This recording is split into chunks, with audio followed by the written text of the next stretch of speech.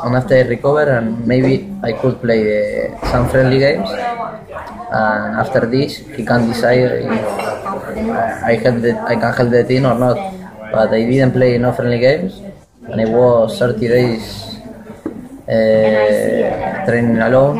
When maybe I can train with the team and play some friendly game maybe if uh, I don't like to the coach he tell me go because here you're not gonna play.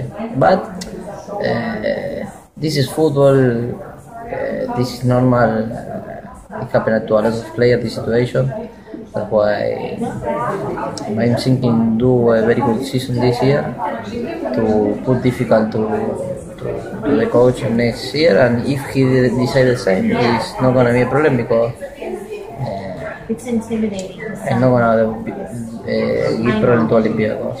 They decide.